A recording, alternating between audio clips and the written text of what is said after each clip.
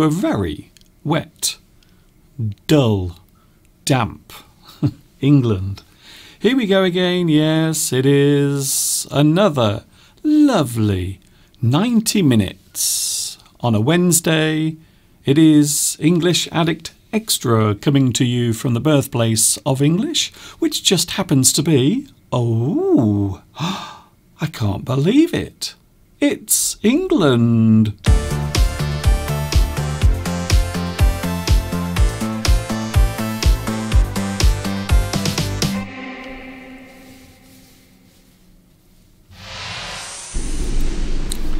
There you are. Hi, everybody. This is Mr. Duncan in England.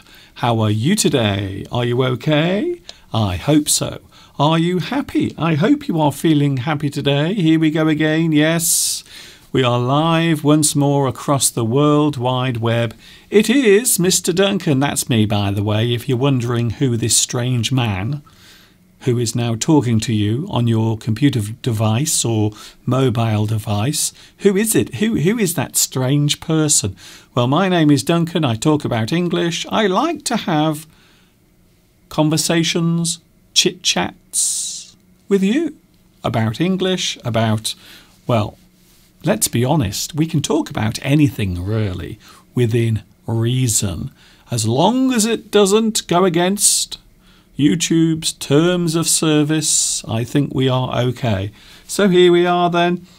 Now you know who I am. I talk about English. I've been teaching English on YouTube for many years, and now you know that part. For those who don't know when I'm on, you can catch me every Sunday and Wednesday. I still get lots of people asking, Mr. Duncan, when are you on? Sunday, Wednesday, 2 p.m. 2 p.m. UK time. Sunday, Wednesday is when you can catch me right here on YouTube. So this is something a little bit different on Wednesday. First of all, it's just me. There is no Mr. Steve every Wednesday because Steve has to work, unfortunately. He has to do his little job in his office. So he has no choice about that. Can I say hello to everyone on the live chat? I will say a special hello in a moment. But of course, yes, we have made it halfway through the week. We have reached that magical point. it's Wednesday.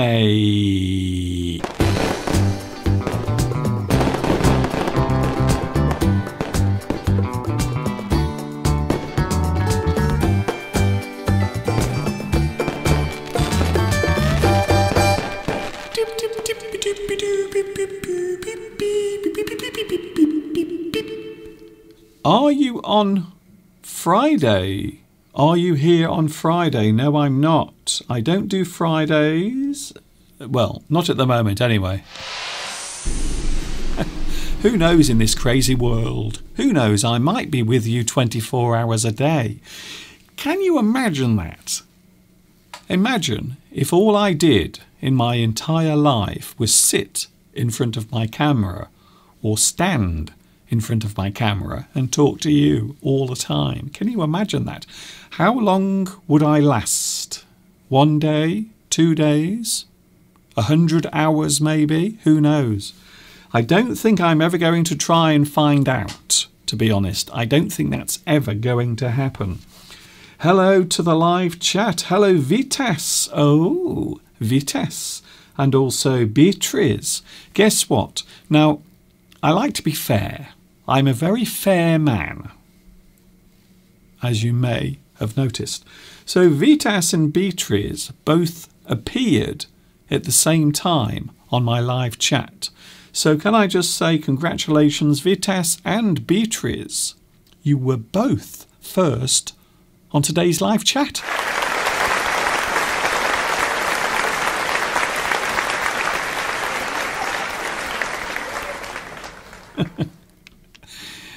Can you see I have been to the beauty salon? I asked for a complete makeover. I said to the lovely lady, I said, Look, make me look different. And she said, Who do you want to look like? And I had to think for a moment. And then I thought, Well, I don't want to look like David Letterman because David Letterman has a very long grey beard. So I thought, no, I don't think I'm going to have a David Letterman because his beard makes him look like Father Christmas. Maybe I could have a beard that looks like James Brolin. Oh, who remembers James Brolin from the 1980s? So perhaps I could have a beard like him. And that is what I said. I said, Can I have a beard that looks a little bit like James Brolin? But unfortunately, the young lady didn't know who James Brolin is. So I had to instead say, You know, uh, can I have a beard like like that guy from Bareback Mountain? So so yes, so, so she said, "Oh, I know him." So can you make my beard look like his? So that's what she did. no, I'm not saying that I look like Jake Gyllenhaal. I don't look like him at all. I don't think so.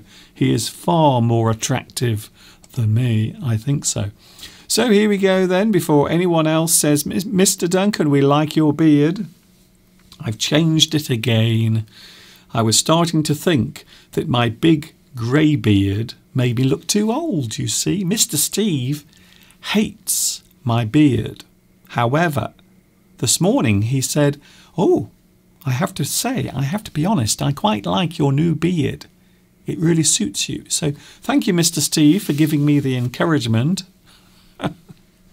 by insulting me to change my beard and my appearance slightly.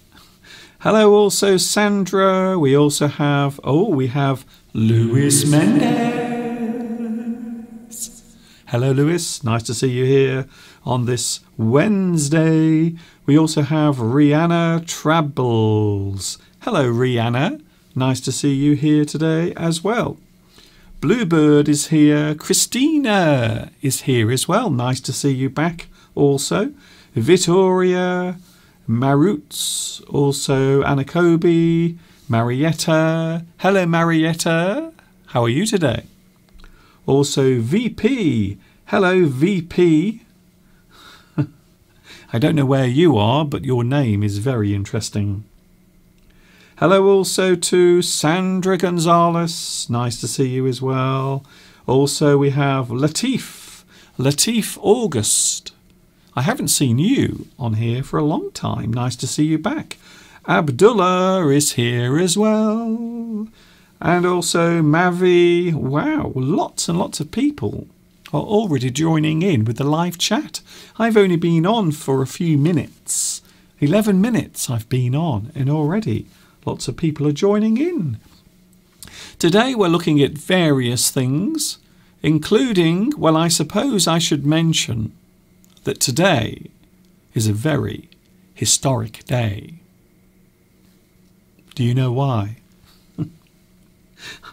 I have a very strange feeling that you do know. I think so.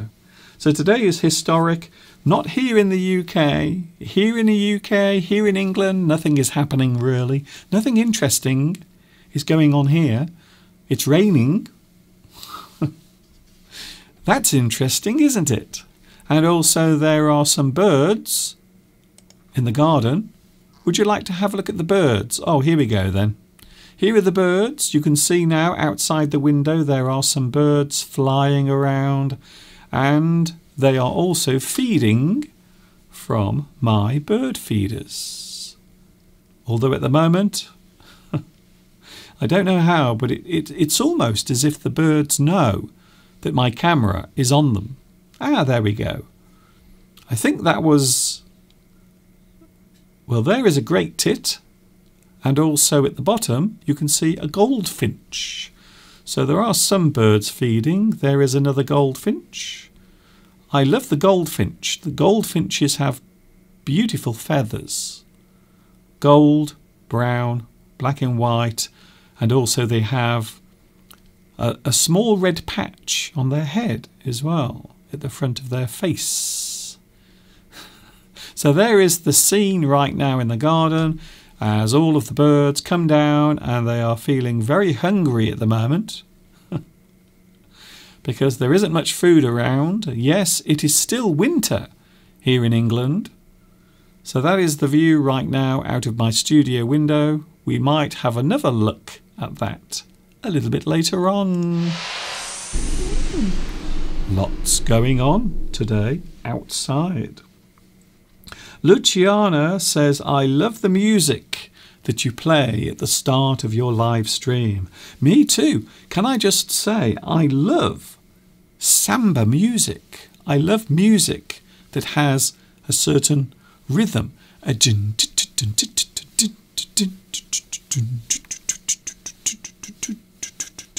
samba, I believe it's called. hello also to, oh, hello to Belarusia. Nice to see you here today. Thank you for joining me. Also, we have Sabem and also Edit. Hello, Edit Goulet, watching in Budapest. Nice to see you here as well. Welcome. Everyone is welcome on the live chat wherever you are in the world. Can I say hello to Satchin, who says, Am I late? No, you are not. You are not late. I've only been on for a few minutes. Today we will be showing you the sentence game. We will all be joining in on the live chat, as I mentioned. Also, there is a special thing happening today. I'm sure you know what it is. A very historic moment. Talking of which, there are two words in the English language that look very similar to each other. And those words are historic and historical.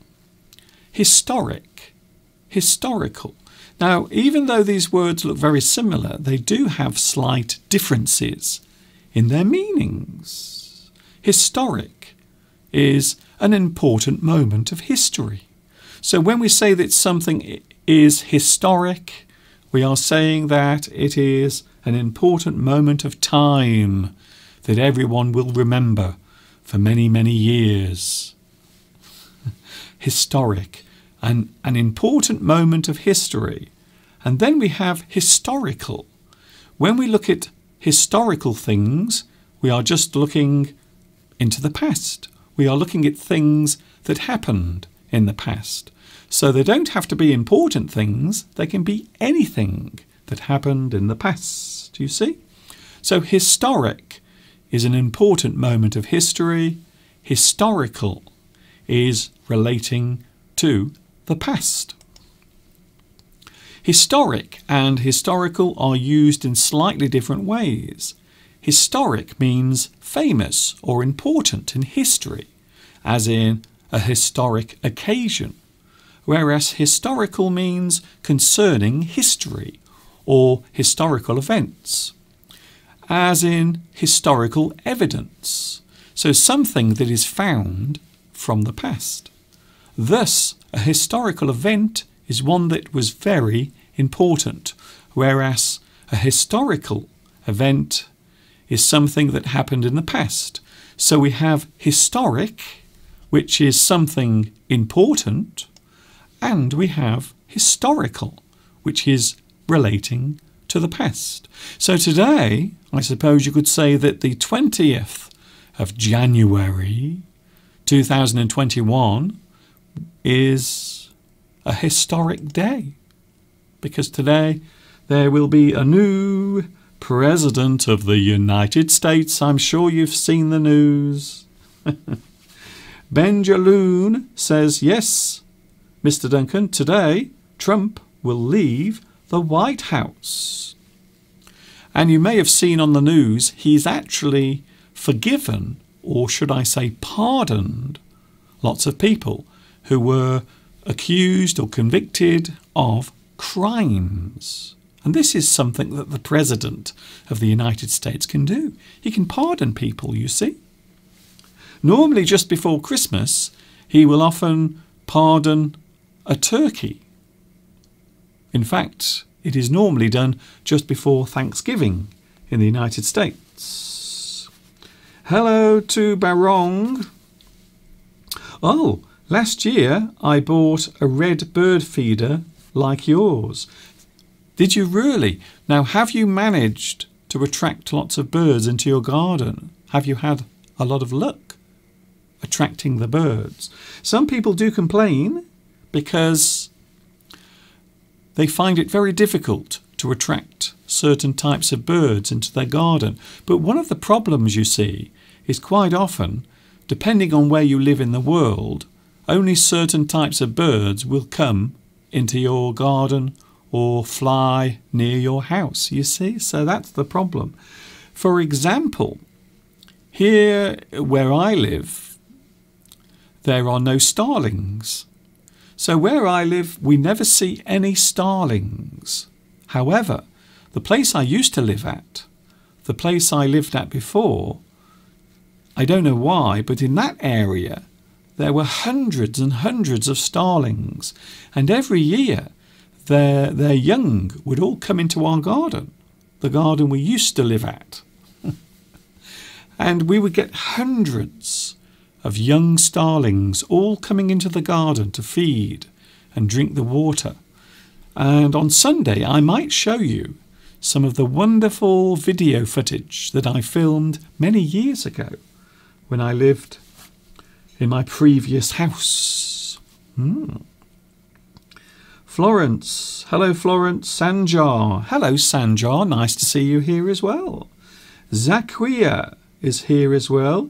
Zakia. Goodbye, Mr. Trump. as I said last week, now I don't want anyone to misunderstand this. So please don't misunderstand what I'm going to say, but I will kind of miss all of his shenanigans I know, I know what you're going to say. Oh, Mr. Duncan, you're not saying that you like him. I'm not saying that I like him or, or his way of thinking or his attitude towards certain people. However, I will kind of miss the craziness. There we go, yes. I suppose the craziness from the past four years. I might miss it just a little bit. Can you say historical documents? Yes, historical documents are things relating to the past that have been written down. So maybe books, maybe a piece of paper, maybe a famous piece of paper, like, I suppose, the Magna Carta. Well, I suppose the, the Magna Carta is actually historic because it was a big moment it was the moment when here we were given our freedom, our rights. Royalty could no longer dictate their, their whims and their wishes upon the, the common person. Thank you from Morocco. Bahrain, Bra- Brahim Brahim is here as well. Kate Gann. Hello, Kate Gann. I haven't seen you for a long time so many people are joining me today and people I haven't seen for a long time. I might get very emotional in a moment. I might start crying. No, not really. Have you noticed yesterday the first thing that Joe Biden did yesterday was start crying? He hasn't even become president yet and he's already getting very emotional. Hello, Vittoria. Comedians who imitated Donald Trump will miss him very much.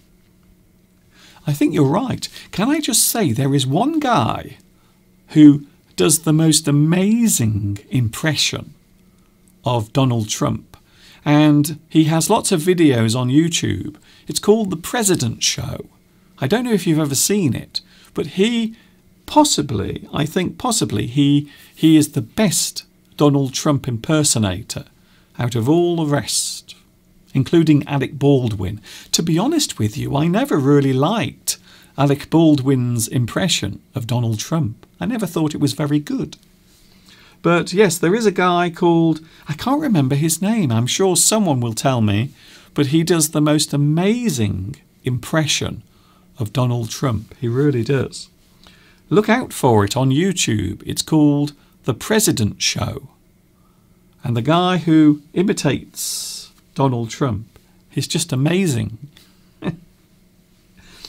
Hello, Crazy Ant. Hello, Crazy Ant. Hello to Florida, Crazy Ant. Vlogs is watching in Florida at the moment. How's the weather there? Is it better than here? Because today, unfortunately, here in the UK, the weather is awful. It's grey, it's raining. Here it is now. There it is, looking out the window. Oh, yes. So, what does Florida look like at the moment? does it look like that? I have a feeling it doesn't. So many people today getting very excited because there will be a new president of the USA. Goodbye, Donald Trump. Hello, Joseph Biden. Very nice. Hello. Oh, Casfer Smoak. I hope I pronounced your name right. I probably haven't.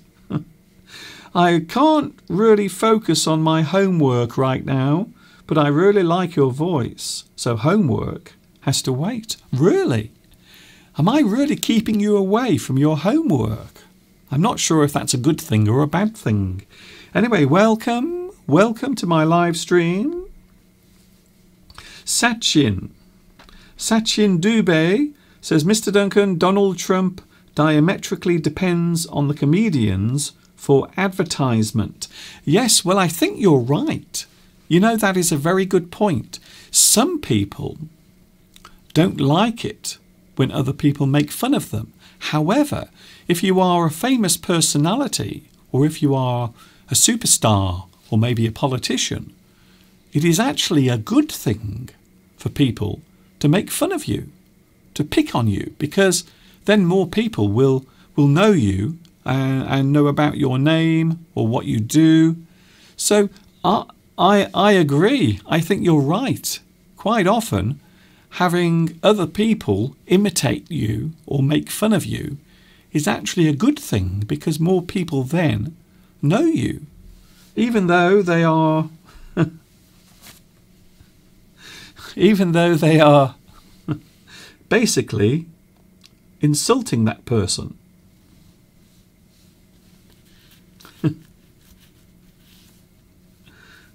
Please tell the UK to stop spraying the sky over you. My sky is lovely. Yes, I bet. I think your sky is probably bright, sunny, maybe it is warm, and everywhere is beautiful. Maybe the sky is blue, and if you are near the sea, the sea might be blue as well. Who knows? Hello, Palestine. It is my first time. It won't be my last. Ray Ham. Hello, Ray Ham. Nice to see you here today. Oh my goodness. The rain is really falling now. it's really coming down. The poor birds. Oh, I really do feel sorry for the birds today. They are really suffering. what a shame. Poor birds. Coming up today, we have the mystery idiom. In fact, I tell you what, I think it would be a good idea right now to take a look at today's mystery idiom. It is just after half past two. Here in the UK, we are live from England, and this this is today's mystery idiom. Take a look at this. It is a well known expression in English, a well known idiom that we often use. but what is it? And also, what does it mean? The mystery idiom is here for you. Hmm. So if you think you know what it is, let me know on the live chat. Yes, the live chat is right in front of you. If you have a look under your screen, you will see the live chat, or maybe if you are watching on your mobile device, it might be next to you, or even at the bottom of the screen. It might be down there, you see. You might see the live chat here on your screen, you see.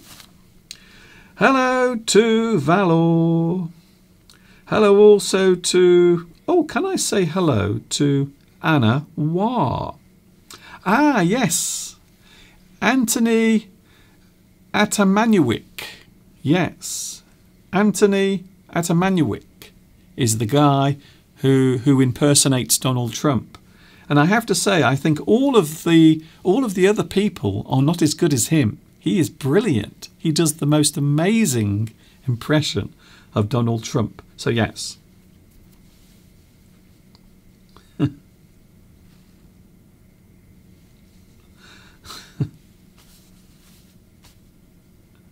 ah, I see.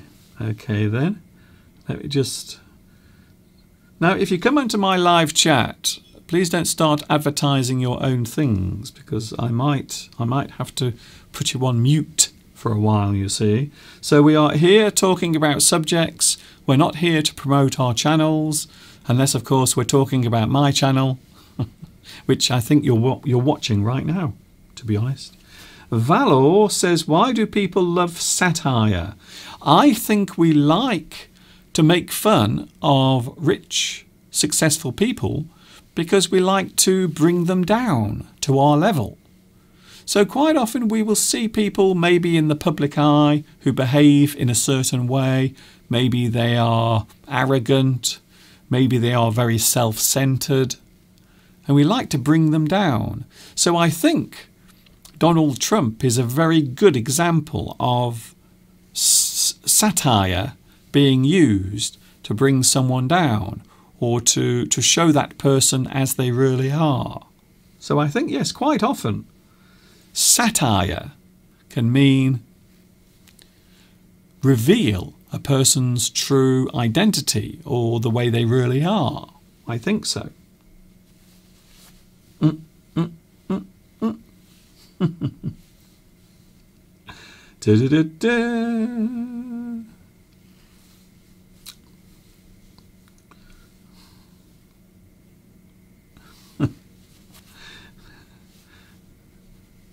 I'm just putting some people on hold.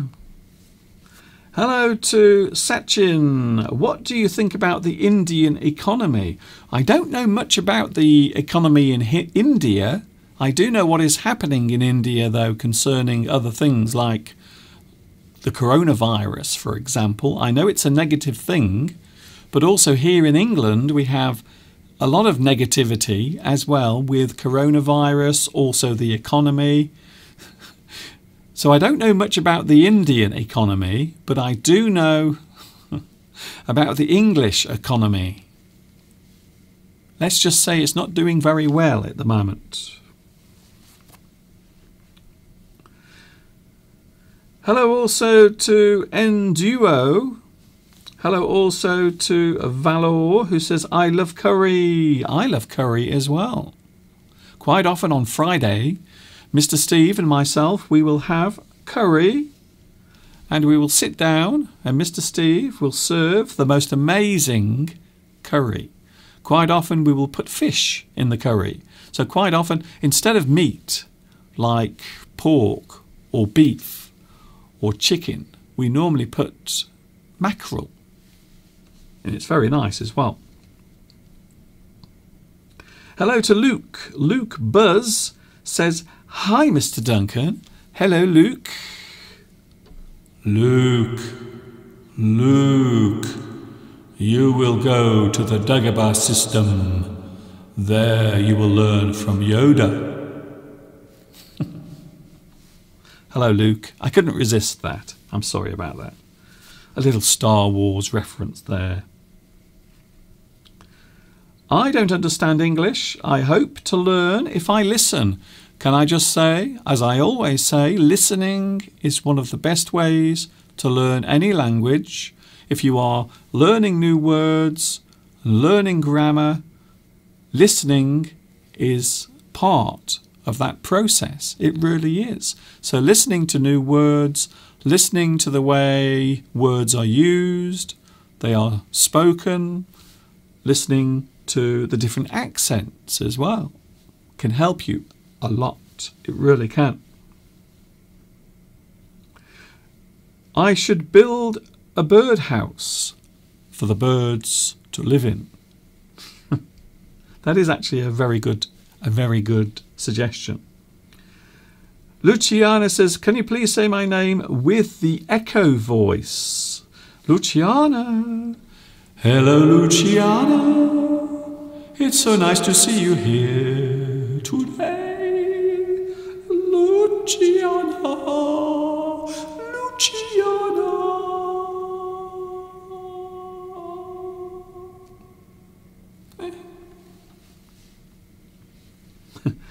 Janos asks, "What do you think about COVID?"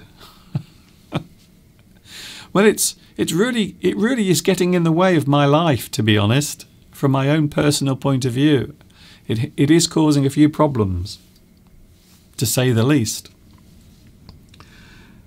Sachin uh, enjoys pickles. I do as well. I like pickled vegetables. I also like pickled onions. And sometimes I like pickled eggs. Very nice. We are going to take a little break. We are looking at some unusual words a little bit later on. And also, we will be looking at the differences between pardon, forgive, and absolve a little bit later on. What about you? Have you ever had to forgive someone for their wrongdoings. We will talk about that a little bit later on. But right now, we are going to take a look at an excerpt from one of my full English lessons. And this is taken from Full English number 32.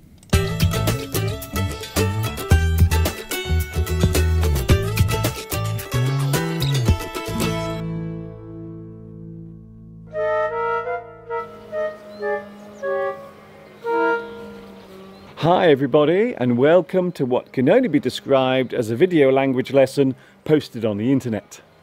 Coming to you from the birthplace of the author A.A. Milne, who wrote the stories of Winnie the Pooh and his various animal friends, plus his human companion, Christopher Robin. Did you know that Christopher Robin was a real person? In fact, he was A.A. Milne's son. England is also the birthplace of the English language, which is why we are all here today.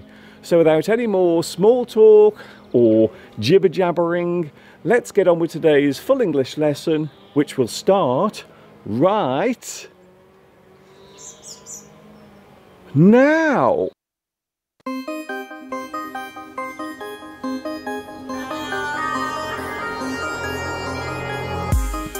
Your memory can play tricks on you you might be at work doing something mundane when all of a sudden a memory pops into your head. It might be a random moment from your past. Something that has left an impression on you might simply pop up in your head. You might have a flashback. A moment in the present can send you back in time. A certain sound or smell from your childhood that occurs in the present can transport you back to your younger years. Sometimes the memories consist of unhappy events and moments we would rather forget. Looking back on your life experiences is normal. You reminisce, you reflect, you consider what occurred by remembering the events that went before. As we get older, our distant memories become more precious. Your memories make you the person you are. They are your individual experiences that are an irreplaceable part of you.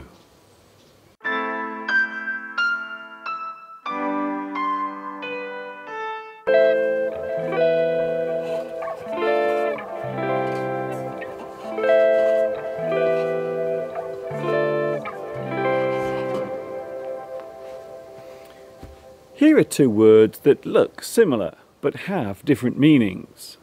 The words are frill and thrill. Firstly, the word frill with an F means an attractive addition or decoration. You make something look more appealing by adding frills. You might see a frill on a woman's dress or skirt. You might add frills to a pair of curtains so as to make them stand out more. So something that makes an item seem more appealing is a frill. In business you might see frills being added to a particular type of service. This hotel is worth staying at, just for the frills. The extravagant services added to something can be described as frills. Of course, the opposite can also be true. If a business wants to cut costs or make something more affordable, then they might take away the frills. A basic service without the unnecessary comforts or luxury can be described as no frills. The air ticket to France is very cheap but it comes with no frills. You are getting the basic flight with nothing added as a bonus. A basic service is a no frills service. Then there is the word thrill, which can be either a noun, adjective, or verb. Something that makes you feel a sudden rush of excitement can be described as a thrill. It was a thrill to see BTS in concert last night. I was thrilled to be asked to speak at the seminar. The sudden rush of excitement is a thrill. You feel the thrill. Your breathing becomes deeper. Your heart might suddenly start racing.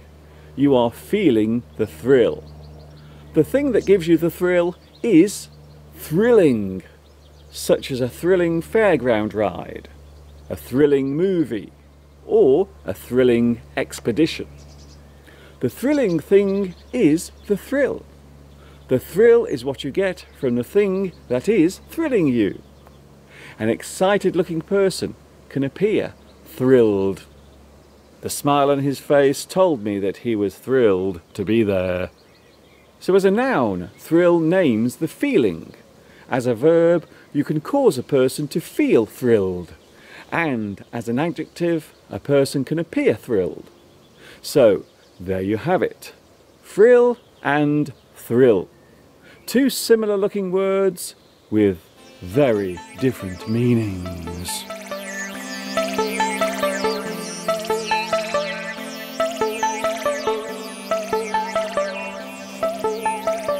It's true that the English language can be quite confusing especially when it comes to pronunciation. Good examples of this occurrence are the words lose and loose, chose and choose. Firstly, the word lose means to mislace something. It describes the sudden loss of an item or person.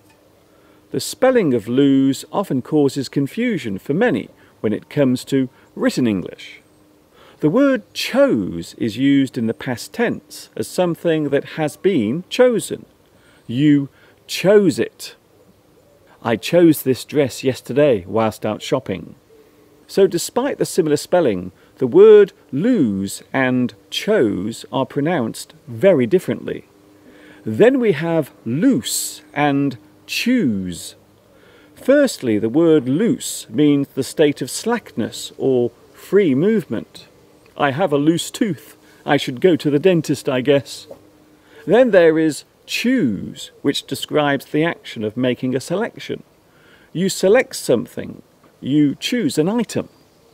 I will choose my wedding dress tomorrow.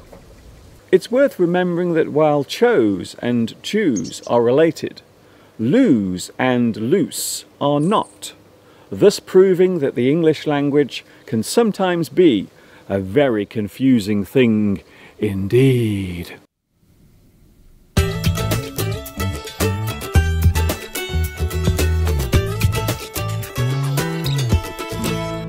There it was, some excerpts from one of my full English lessons All of my lessons are available on my YouTube channel.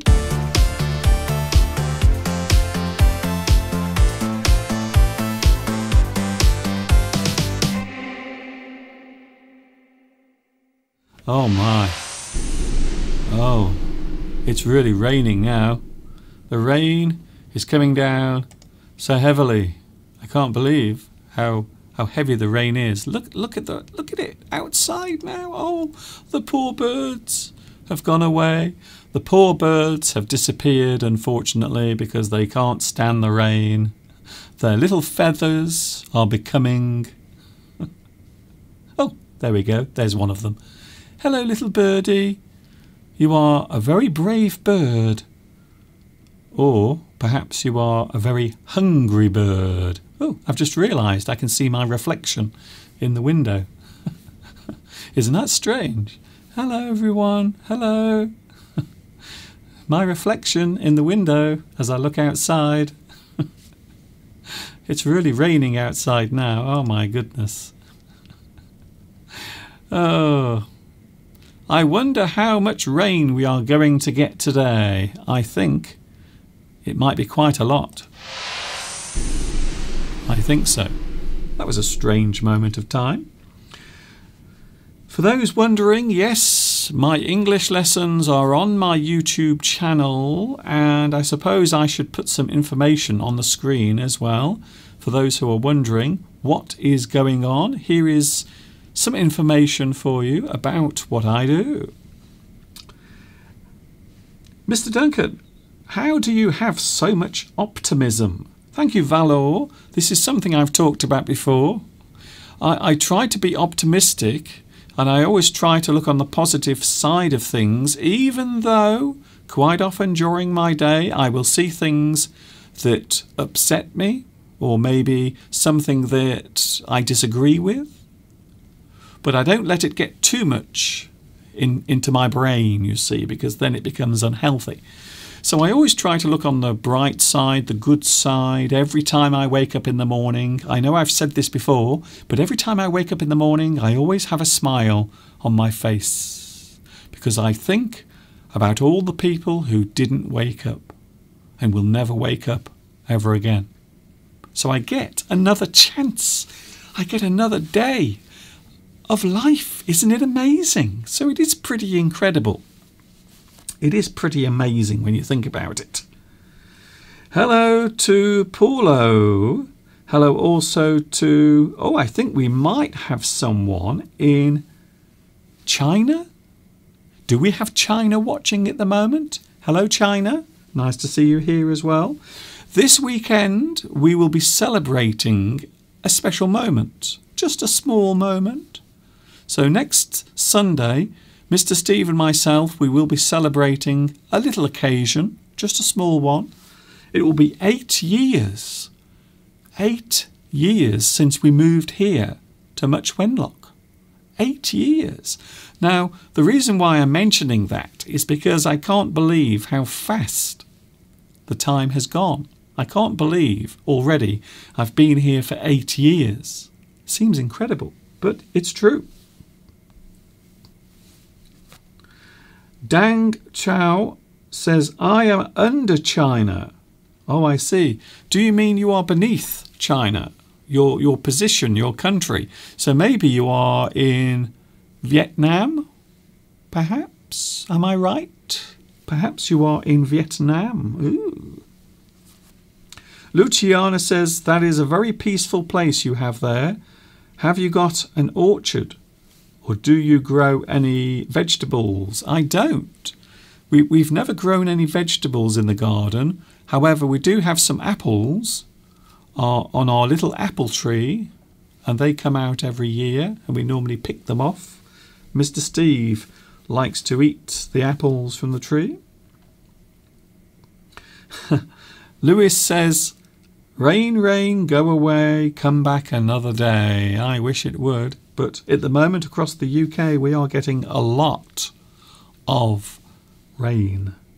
In fact, in the north of England, there is a lot of flooding. A lot of people are experiencing flooding at the moment. which is not much good, really. It's not much fun. Let's have a look at some unusual words. Would you like to see some strange English words? Okay, then. Here we go. On your screen right now, you are going to see some English words. They are real words, by the way. They're not made up. They're not fictitious or fake. They are strange English words that are used sometimes or quite often in the English language. So let's have a look, shall we, at the first word. The first word is syncopate. Syncopate. Ooh. Now, this is an interesting word because it can also re refer to something that we do when we are using a language. So, the word syncopate as a verb means to soften or strengthen a beat in music. So if you make the rhythm or the beat in a musical piece, if you make it softer or if you slowly make it louder or stronger, it is called syncopate. You syncopate. And to shorten the pronunciation of a word so sometimes when we want to pronounce a word and we don't want to say the whole word, we can actually leave parts of the word out. A good example is library. Library. So a lot of people say, I am going to the library to read some books. But in fact, the word itself is pronounced library. Library. But people say library library. I suppose another good example is Saturday. Saturday. People will say Saturday. Saturday. I will see you on Saturday. So instead of saying Saturday, they say Saturday. I don't know why I'm losing my voice today. I have no idea why. Saturday. Saturday. So if you shorten the pronunciation of a word to make it easier to say. Another good example is Gloucester. Gloucester. So Gloucester is actually a different pronunciation to the actual spelling of the word. We will say, I am going to Gloucester to visit my auntie. But in fact, the spelling of Gloucester is not as it is pronounced there are extra words or extra letters in that word that are not pronounced because it's easier to say. I suppose another example is Leicester. Leicester, which is a large town in the UK, in the Midlands. Leicester. So it is often true that we do shorten words. We shorten them when we are actually pronouncing them because it's just easier to say easier to say. Andy says, I have a problem pronouncing reliable. Reliable. Well, reliable is not normally shortened. So these are words that are rarely shortened in general use. So I'm not talking about mispronouncing the words, I'm talking about acceptable forms of words when they are actually spoken, which is a very different thing indeed. Here's another word for you. We're looking at some strange English words. This is English Addict on Wednesday as we approach. Oh, we're coming up towards three o'clock here in the UK. Three o'clock in the afternoon. Here's another word cursory. Cursory. It is a noun, a brief, quick action or moment of time. So something you do very quickly. Cursory. So if you do something fast, quickly, or during a very short period of time, the action is named as a cursory view or a cursory look. So you will look at something very quickly, briefly, cursory. It is a real word and it is used quite often in English. Here's a good one. A lot of people use this word to describe me quite often. This word is addled. Addled. That is how you pronounce the word. It is an adjective and it describes appearing unable to think. So if a person appears unable to use their brain or to remember things, maybe you, you, you could say, you seem very addled today, Mr. Duncan. You seem addled. A person who has difficulty thinking or they appear to have difficulty thinking. We can say that they are addled. Also, another meaning of addled is, there it is, a rotten egg. So an old rotten egg can also be described as addled. So if an egg has been left too long, it's gone bad, and perhaps you can no longer eat it, we can say that it is addled. Addled. Appearing unable to think, or a rotten egg. Addled. Another strange English word for you. Oh, I like this word. This word, salacious. Salacious. Oh. This, once again, is an adjective. The word salacious means a sensational or exciting event. Salacious. Or perhaps, and more commonly, a scandalous story of a sexual nature. Ooh. So when we talk about a salacious story, or maybe something you've heard from another person, we can describe it as salacious gossip. Salacious. A sensational or exciting event, or a scandalous story, often of a sexual nature. Ooh. Naughty. Another one now. Dichotomy. Oh, that's an interesting word. The spelling and also the pronunciation is very interesting. Dichotomy. A dichotomy.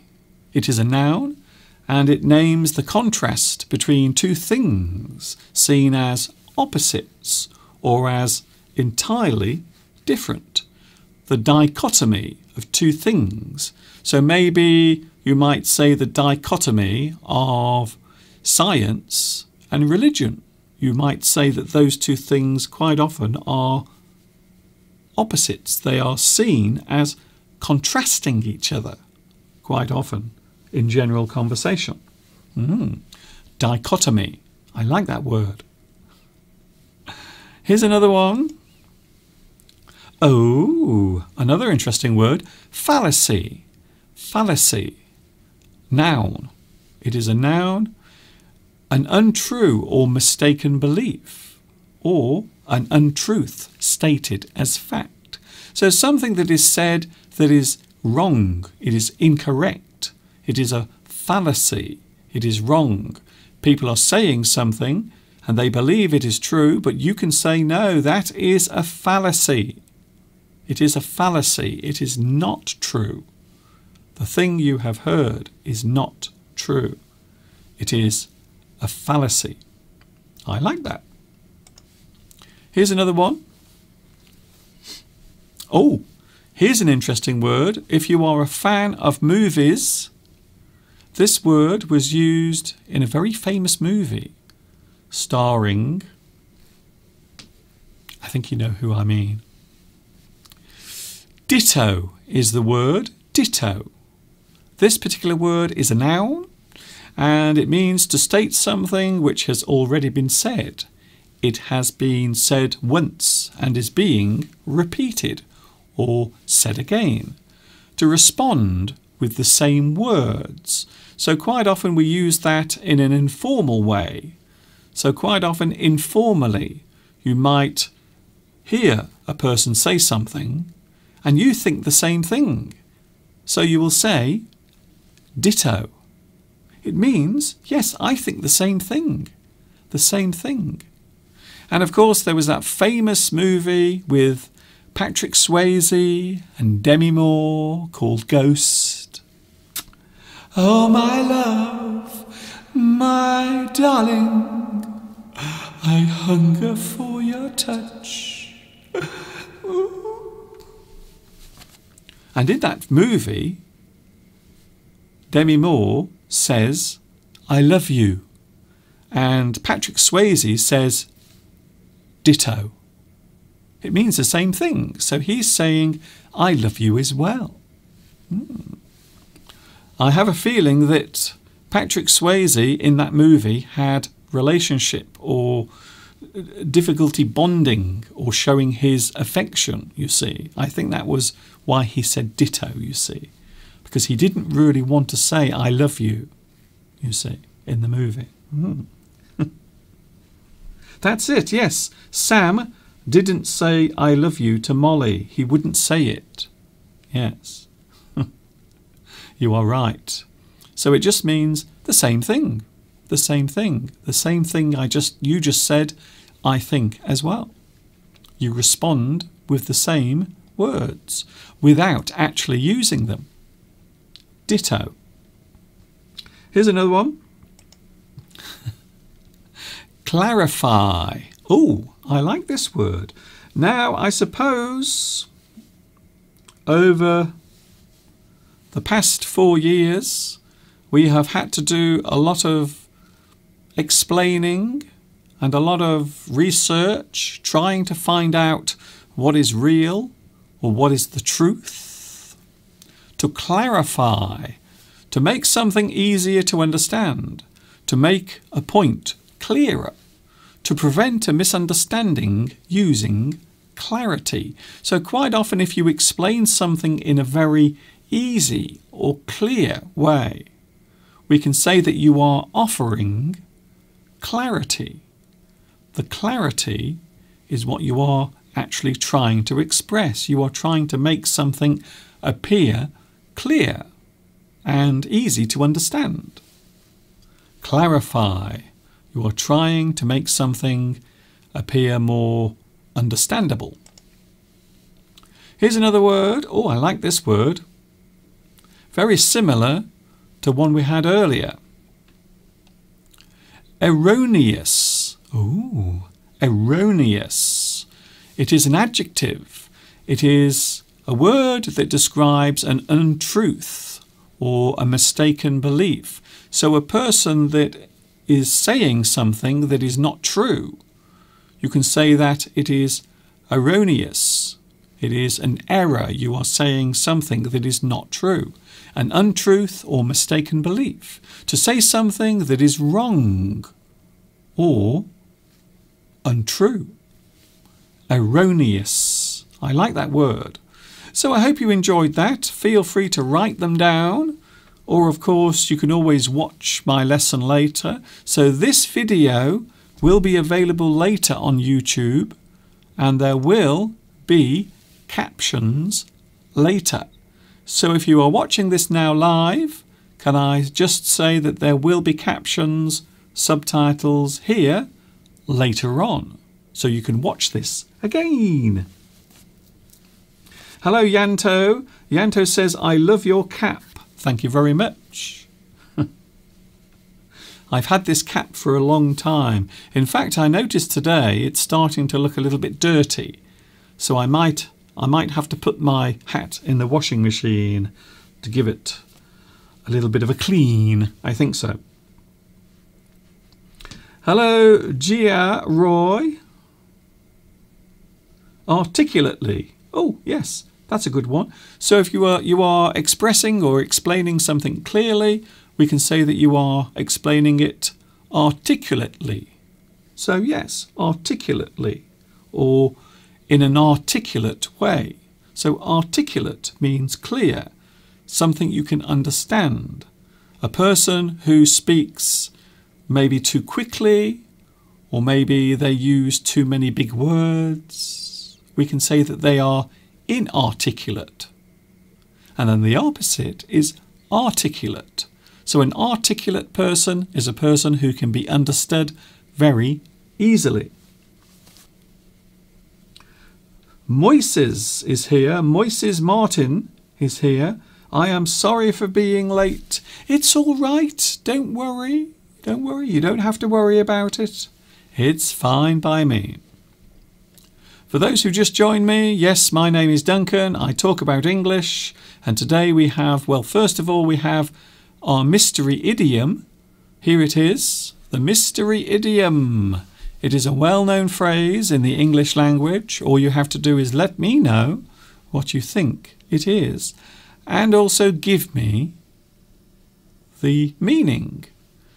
I will give you the answer to that in a few moments from now. So don't worry, I haven't forgotten. And yes, you can catch me on Sunday and Wednesday. For those who are wondering when I'm on, Sunday, Wednesday, 2 pm UK time, English Addict, right here on YouTube. Hello, also, oh, Lewis says, Falacia, falacia, falacia is a word common to Spanish and Portuguese, and maybe it is spelt in the same way. A fallacy. Yes. Well, in English, we often say fallacy to mean something that is untrue, something that is said that is not true or accurate. Today is a historic day. It is a very historic day today because we have the inauguration of Joe Biden as the President of the USA. He will be the 46th President as number 45 says goodbye. In fact, I think it's already happened. I think maybe right now, as I speak to you, I think it's happening right now. So are you are you watching me or are you watching the inauguration of Joe Biden? I'm not sure. Anyway, in the news yesterday they were talking about Donald Trump because apparently just before he leaves office, he's going to pardon lots of people. He's going to let them off or forgive them of their crimes. You forgive, you pardon, you absolve. So you remove guilt from that person. Or maybe you are willing to forget about that thing. So perhaps a person has done something bad, something wicked. Maybe they've done, something personally to you. And then perhaps that person apologizes. What do you do? Well, quite often you will forgive that person Quite often, if someone has the strength to come forward and apologize for their, for their bad actions, then quite often you will forgive that person. You pardon that person. I suppose the word pardon seems a little old fashioned. I'm not even sure if people say that anymore. In law, we will often do it. So, in law, people will pardon another person if they have been proved to be innocent of a crime. So that's what's happened with Donald Trump over the past 24 hours. He has pardoned some people who have done bad things, including one of his closest advisors as well. So, what about you? Do you forgive easily? If someone does something to you, if someone hurts your feelings, are you good at forgiving? Especially when it comes to families. So, from my own experience, sometimes it can be very hard to forgive someone for the things they've said, especially if they are people within your family, you see? So it can be difficult to forgive someone, and I suppose also it depends what they've done. So if someone has done something really bad and awful, perhaps It is very hard to forgive that person. Vittoria says, I know it is wrong, but I do tend to hold grudges. Ah, well, I suppose I'm a little bit like that. I will be honest with you. I know I've mentioned this before, so it isn't a secret, but I do sometimes hold grudges against people who've done something bad to me. And sometimes people are bad. They are cruel. They say things, they do things that, that might hurt your feelings or make you feel upset. They might even cause real harm in your life. So, quite often, if a person does something really bad, you might find it difficult to forgive them. You might hold a grudge. Grudge. So you feel bitter. You feel that hatred towards that person. You, you, you, you can't forgive them for what they did. So you hold a grudge. And I must be honest, sometimes I am a little bit like that. I am a little bit like that in life. If a person really does upset me and cause, well, cause harm, maybe they say something, maybe they insult me in some way. it does happen a lot. In real life, not on the internet. I don't care about the internet. If people say bad things about me on the internet, I don't really care about that because that's not real life. But I mean, in real situations, in your family or people that you have close personal contact with. Mm. Anna Waugh says Joe Biden is now the 46th president of the United States. Oh, I see. So has it just happened? Is that it? Is that breaking news? Ladies and gentlemen, we are now officially free of President Trump.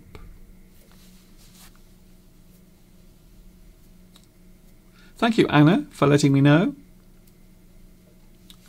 Are pardon and forgive always interchangeable? or are they complete synonyms? Yes, I suppose if you pardon someone, you are allowing them to to to release their guilt, or maybe a person who who has been accused of doing something. You see, you pardon them, you pardon them, but quite often it is it is used as a synonym with forgive. So you forgive someone for their for their wrongdoing. You pardon that person. You say, "Okay, okay." But in law, I think that the the difference is is quite definite because in law, if you pardon someone, you take away their criminal act. You are actually removing it. You are taking taking it away. So maybe a person who is in prison will be released because you have pardoned them. You have allowed them to, to release their guilt for the thing that they've done. Wail says, Mr. Duncan, we love you. Thank you very much. That's very kind of you. Valentina says, I always forgive my relatives. I always forgive them for the things that they've done. Yes. Well, we often say that forgiveness is something that, that is, is seen as virtuous. You see? Forgive and forget. So that is an expression we often use in English that means you forgive someone and then you move on with your life. So maybe in a family situation, you might forgive someone in your family for doing something. You forgive them. And hopefully, after that point, you will both move on and maybe reconnect. I always forgive those who apologise. Thank you, Reham. Yes, that is a very good point, actually. I think actually Belarusia said the other day as well that forgiving, sorry, saying sorry apologizing is the hardest thing to do because it shows good character. It takes a lot of it takes a lot of courage to actually say sorry. So if you are willing to go to the person that you have wronged and you are willing to apologize to them, I think that's a very difficult thing to do, a very hard thing to do. And in many cases, it might be seen as very brave as well, you see? Very brave.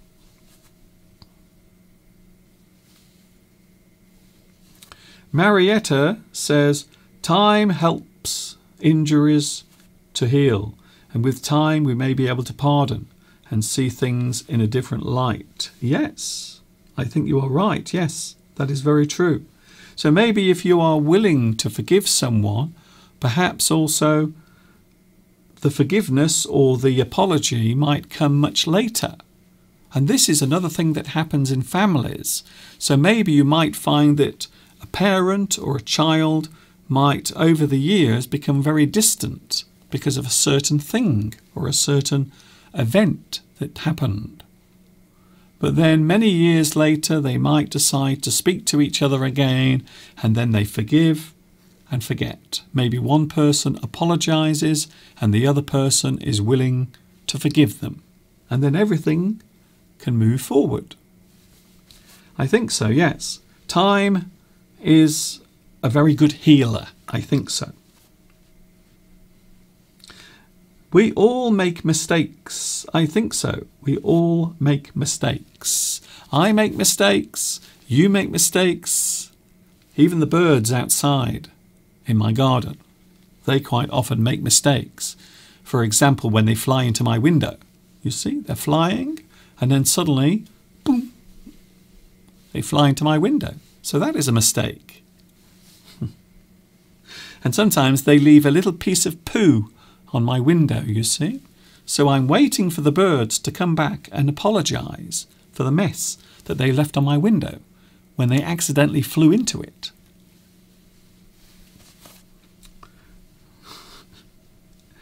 We have to pardon in order to be pardoned because we all make mistakes. Yes, I think so. I think you are right. Berlin says, don't forget to click like to show your appreciation. Yes, I think that's a very kind thing to say. Yes. Like and subscribe, I suppose, might be a good thing to, to add here. Add, like, and subscribe. If you like this, then subscribe. If you don't like it, then you don't have to. it's not the law, you'll be pleased to hear. So don't forget to give me a lovely big like if you like what you're seeing. Give me a like and subscribe as well. So, what about you? Are you good at forgiving other people? They say forgiveness is something that is a very hard thing to do. Sometimes it is just too hard to forgive another person.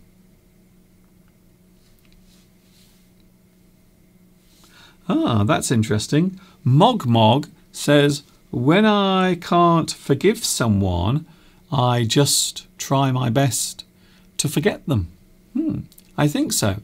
This is one of the problems that many people face in their lives. Maybe something that happened to them. Maybe a person said something to them, something hateful, something that has harmed them. And maybe they carry that thing through their life. It is something they can't get rid of. It stays there in their mind. So, yes, it can be a very difficult thing to go through if someone does something bad to you. Quite often, it is true that you must try to forgive, and if you can't forgive, try to forget. I think that's quite good advice, actually. I think that's very good advice. Do you forgive easily? Ah, yes, some very interesting messages coming up today. Reham says people reap what they sow. So forgive. Now, that phrase is quite interesting. If you reap what you sow, quite often we are expressing the, the act of doing something bad, and then eventually that thing will come back to you. You reap what you sow. So if you do good things in your life, then the belief is that you, you will get good things in return. You will have good things coming back to you. And the opposite is also true. If you do bad things in your life, then maybe bad things will come back to you. I suppose another word we could use is karma. Karma. Some people believe that if you do bad things, then bad things will come back to, to, to you. I think so.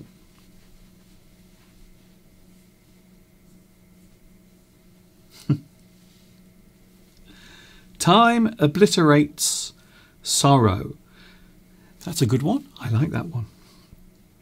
Benjaloon asks, What is a chairman? Chairman.